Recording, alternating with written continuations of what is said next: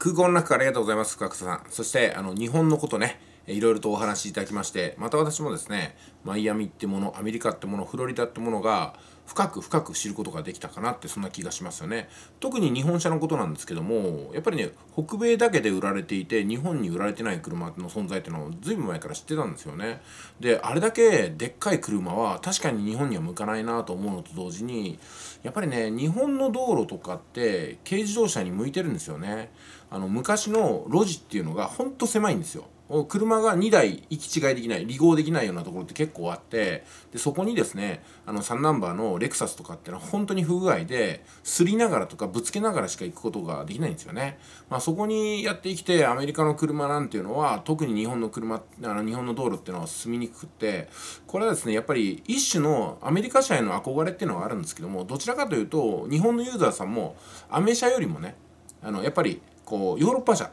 ベンツとかあなんですかね。あの輪っかのついてるやつね。アウディか。アウディとか、まあ、それからあなんですかね、えー、ヨーロッパだとちょっと忘れましたけども、まあ、ヨーロッパ車ですね。特にヨーロッパ車の方に意識が向いてアルファロメオか。ああいうのとか高級車でもフェラーリとかになってくるのかなと思うんですよ。やっぱりアメ車なのかヨーロッパ車なのかって見ると、うん、やっぱり底力とか根強いファンっていうのは多分アメ車なんだと思いますけども実用性とかユーザビリティとか考えるとヨーロッパ車の方が外車の中では人気なのかなと思っちゃいますよね、うん、柳瀬の販売店っていうのは確かにベンツとか中心にアウディとか中心に扱ってますしね。まあそういうこと考えるとえー、確かにあのアメリカの車が日本に売れにくい事情っていうのはそういうとこにあるのかなと、まあ、私は最近あのトランザムの83年式っていうのを買ったんですよ。で確かにねオーバーヒートしやすいし古い車っていうのもあるんでしょうけどもあとあのパーツが結構ねいい加減と言いますかおそらくなんですけどもそのゼネラルモーターっていう会社が作ってるんだけどもでもゼネラルモーターもいろんな工場で作ってるんですよね。で工場によって多分規格が違うと思うんですよ。微妙に違ってあのトランザマなんていうのは1センチとか2センチとか違ったりしますからもうね同じパーツがどの車にもはまるかって言ったらそうじゃないんで加工しなくちゃいけなかったりするんですよね。まあそういったやりにくさとか、うん、あとはやっぱり故障が多いかって言われたらそんなにね多いわけではないんだと思いますけどもまあそういう多いというふうに思われてるところがあるのかなと思います。そして同時に日本のね軽自動車むちゃくちゃ快適なんですよね私も軽自動車だったらもう本当に快適にゆったりと乗れるんですけどもどちらかというとトランザムの方が車体は狭いしあの荷物を入れるところはないし本当に一人で走るののが精一杯ですよね。しかも音は大きいしみたいな ご近所迷惑になったりとかね、えー、そういったギャップもあるかなという部分がありますよね。でまあ日本文化がアメリカの人すごく興味があるっていうのはもしかしたらそうかもなと思ったところがあって、まあ、私はね、まあ、民謡三味線をやってるんですけどもそちらの方でアメリカの公園とかに行ってみたいなとか。で盆栽も今ね盆栽私あのそこの後ろにあるんですよ。盆栽ね。盆栽ここあるでしょ？ここに。ここにありますよね。まあ盆栽も徐々に始めてえ要するにね日本人でいながら日本の文化って結構ね知られてないんですよ本当に。でまあね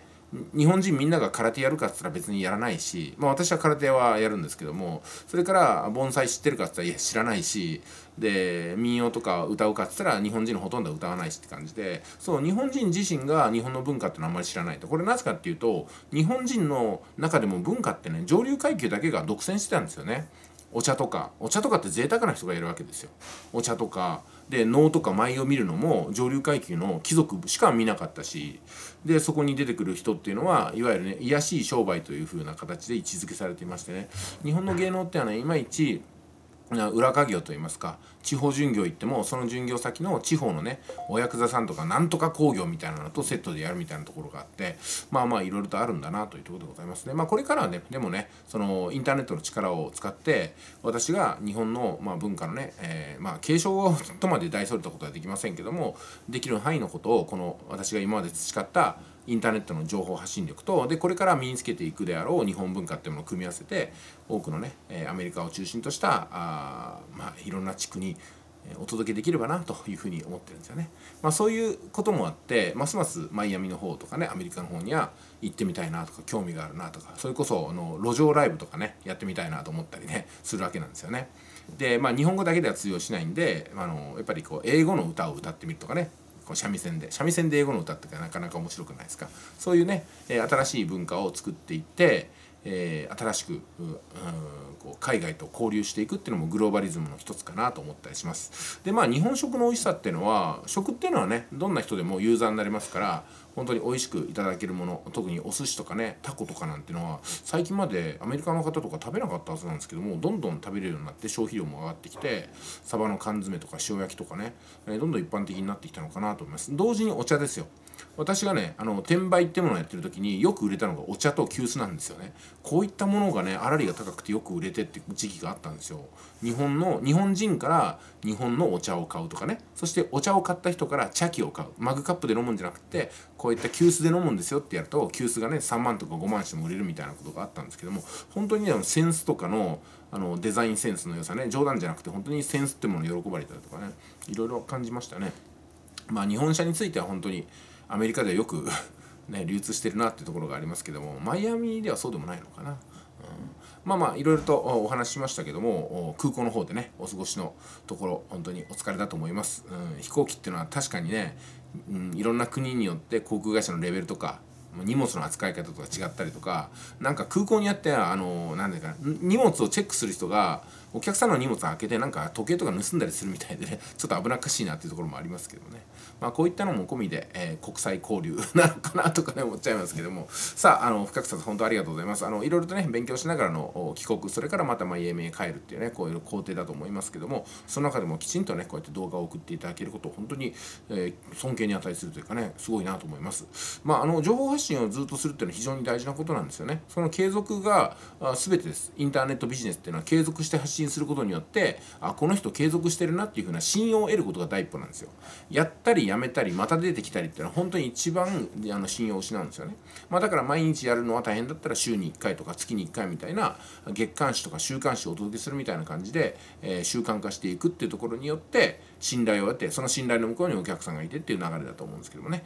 私があ振り返ってみるとインターネットでビジネスをするっていうのはそういうことなんだろうなと思っております。信用を勝ち取るために継続すること。継続するためにやっぱりねまあ、毎日同じ媒体で同じところに大体こうできるんだったら同じ時間に出していくことかなと思います。それはね何があっても出していくっていうところが信頼につながりますから今回深草さんのようにねお忙しいあの空港の中で待ち時間がボンとできたらちょっとアップロードしてみるなんてのは最高だと思います。まあそれに控えてって言ったらねちょっとね悪い言い方になるかもしれませんけども安定した生活のサイクルを持ってる人が安定して発信できないっていうのはちょっとこれはね怠慢に近いんですよ。うん、だからね絶対に1日のうちのどこかで5分でも10分でも時間で作れると思うんですよ。そこであの動画を撮って発信するとかねブログを書くとかっていうところから始めていかないといけないのになかなかこれしないんですよね。だからそれをしないと見えない世界っていうのは本当にいっぱいあるんですよ。うん、でそれをやらなければ詐欺的な商材を買ってみたりとかねえー、できもしない投資話に乗ってみたりとかで結局大きなダメージそれこそ後遺症も残るような金銭的ダメージを受けちゃいますんで私はその辺の警告もこれからもねしていこうかと思います、えー、まあ成功モデルといいますかねあの進め方としては深草さんの今の発信っていうのがすごくいいと思います、えー、これからもね継続して、え、やっていきましょう。本当毎日が大変だったら週1とかねあの角日とかだから月水金やるとかねそんな感じでもいいと思いますし1日で3本取りだめとかっていうのもいいと思いますんでね。とにかく継続していくってこと。でできそうにない日はあらかじめ予測を立てていってその日の準備をしておくこと。例えばね何月何日は放送できませんので次回の放送は何月何日ですというふうな予告を作っておくでもちゃんとあの放送しない日の信頼を起こすことがないってこともねできるわけですよ。3日間休みますとかでもいいわけですよ。そういうふうにやっぱりね放送しないってことを宣言するっていう工夫も時には使ってもいいんじゃないないかなと思います。本日は以上です。ありがとうございます。